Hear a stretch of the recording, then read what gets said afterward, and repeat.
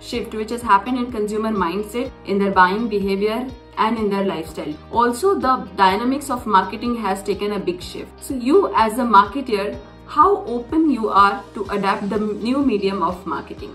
Uh, in my mind, if we don't adapt to new marketing methods, uh, anybody who doesn't do that is going to die. So uh, I think the new methods are extremely important, and marketing is all about evolution of new strategies. So you know, there was a time when people used to print leaflets and put it in the newspapers, assuming that people are going to see it.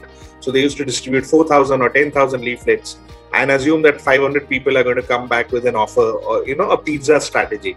But today you you have emailers, which I'm not sure how many people read but you know there's so many digital strategies that uh, the same communication or the same style can be adapted into 10 different ways uh, but everything costs money and today uh, the price is per consumer so uh, you know there's so much to learn from the digital uh, expansion unfortunately there are not too many digital agencies at least in the entertainment space who can uh, you know who can do justice to this kind of a science or this kind of a marketing so there's a there's a huge demand for people who uh, make sense and people who, who talk out of experience. So I think that's going to be very, very interesting.